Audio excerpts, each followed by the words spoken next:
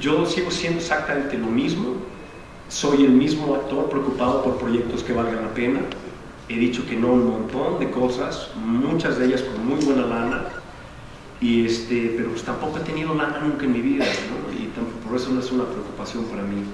Eh, mi objetivo no es Hollywood, mi objetivo es buscar proyectos en donde sea que sean.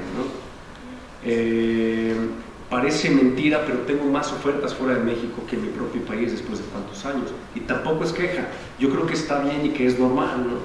porque, insisto, y hablamos hace rato de eso, hay mucho talento en este país, ¿no? Y para que tú puedas ocupar un lugar, tienes que sí, ser mejor que varios, ¿no?